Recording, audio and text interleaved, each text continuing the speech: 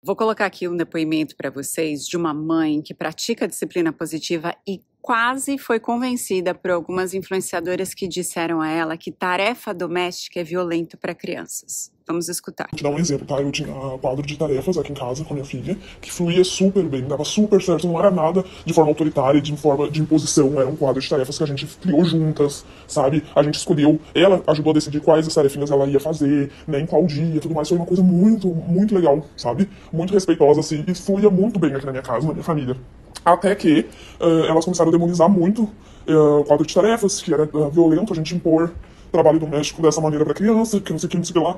Ai, olha, eu vou te dizer. E aí eu parei de fazer o quadro de tarefas, porque eu comecei a me sentir mal, sabe? E, e, e, aí eu comecei a desandar, assim, eu comecei a, a, me perder, eu comecei a entrar num limbo, assim, de culpa, de, de, confusão mental, até que eu comecei a refletir, eu falei, não, quer saber, só um pouquinho, né, não, não tem nada de violento no sistema que eu tava aqui na minha casa, tava fluindo super bem, inclusive tava fluindo muito melhor, né, do que agora, que eu, que eu tô nessa, nessa coisa de, tipo, tudo é errado, tudo é violento, tudo é desrespeito à criança, não pode nem falar, nem o termo, uh, colocar limites, criança precisa de limite, a gente pode usar, sabe?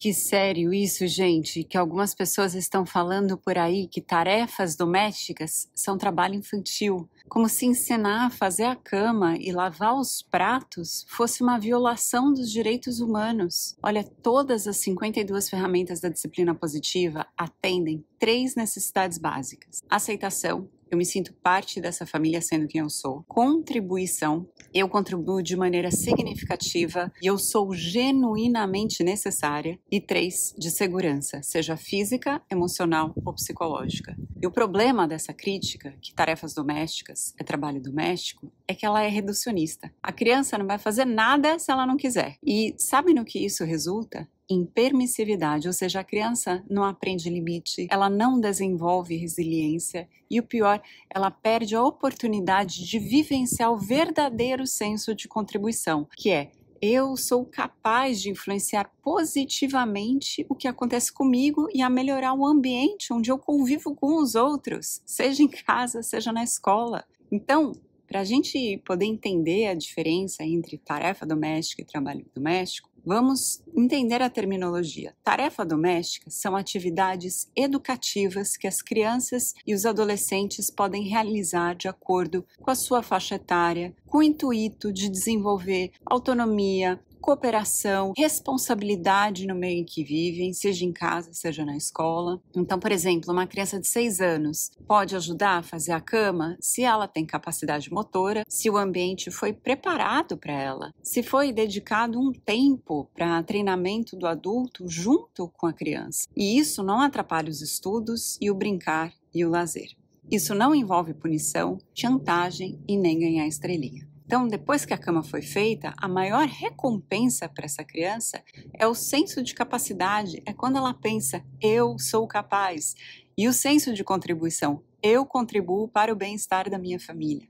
Já o trabalho infantil, ele impõe à criança ou o adolescente a responsabilidade pelos cuidados que seria de um adulto, ou impõe os cuidados dos irmãos ou de um idoso, isentando o adulto do papel que é seu, o que não é o caso do áudio que a gente escutou no começo desse vídeo. Os meus próprios filhos aprenderam a cuidar da casa, dos brinquedos, do material escolar deles. Isso não é trabalho infantil, isso é ensinar habilidades para a vida. Eles aprenderam a cuidar mais das suas próprias coisas e a respeitar as coisas dos outros e os espaços dos outros, porque eles sabem que é preciso esforço para cuidar disso. Então, mães, pais, cuidadores, não assuma como verdade que Ensinar uma criança pequena a ajudar a recolher os seus próprios brinquedos, um adolescente a ajudar lavando as próprias roupas, vai traumatizar os seus filhos. Avalie o que é apropriado para a idade, dedique tempo para ensiná-los e acompanhá-los no aprendizado dessas tarefas, e no final, todos vão ganhar habilidades de vida, principalmente os seus filhos.